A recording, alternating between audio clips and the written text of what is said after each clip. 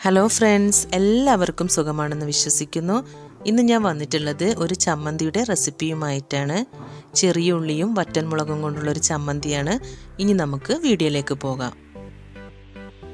ചമ്മന്തി തയ്യാറാക്കാൻ വേണ്ടി ആദ്യം തന്നെ ഒരു ചട്ടിയിലേക്ക് കുറച്ച് വെളിച്ചെണ്ണ ഒഴിച്ചു കൊടുക്കാം. ഇനി ചൂടായ എണ്ണയിലേക്ക് ഇരുപത് ചെറിയ ഉള്ളിയും കുറച്ച് ഉപ്പും ചേർത്ത് നന്നായിട്ടൊന്ന് വഴറ്റിയെടുക്കാം.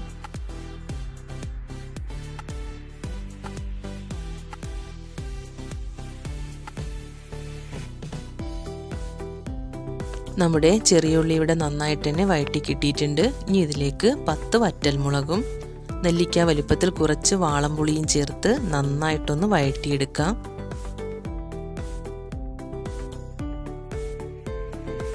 ഇവിടെ നന്നായിട്ട് തന്നെ വഴറ്റി കിട്ടിയിട്ടുണ്ട്. നമ്മുടെ വറ്റൽമുളകിന്റെ കളറൊക്കെ മാറി വന്നിട്ടുണ്ട്. ഇനി നമുക്ക് ഫ്ലെയിം ഓഫ് ചെയ്യാം. ഇനി നമുക്കിതൊന്ന് ഒരു പാത്രത്തിലേക്ക് കോരി മാറ്റാം. നമ്മുടെ വറ്റൻമുളകും ഉള്ളിയൊക്കെ തണുത്തതിന് ശേഷം ഒരു മിക്സിയുടെ ജാറിലേക്ക് ഇട്ട് കൊടുക്കാം.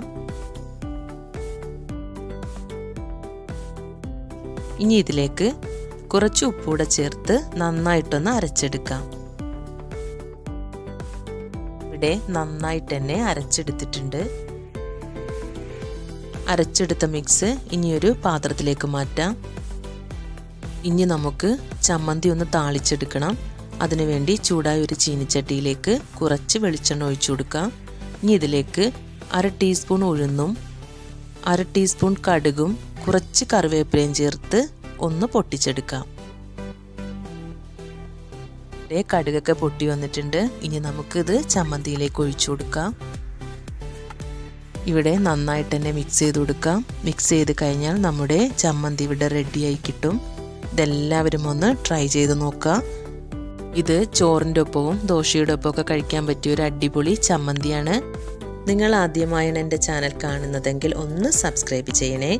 അതുപോലെ തന്നെ ലൈക്ക് ചെയ്യാനും ഷെയർ ചെയ്യാനും മറക്കരുതേ.